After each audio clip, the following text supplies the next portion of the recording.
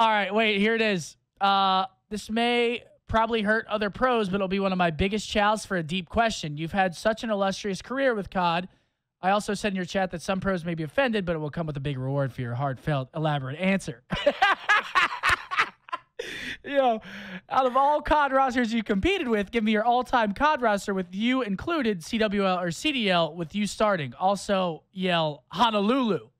Yes, yeah. First, yell hallelujah. Yell it, Honolulu. Honolulu. Okay. Honolulu. Okay, there's that. And then okay, I have to make a roster of my past teammates. So all of your past teammates, you have to form the best roster. Okay. Uh me, FormaL, Shotzzy, Wow. Damon.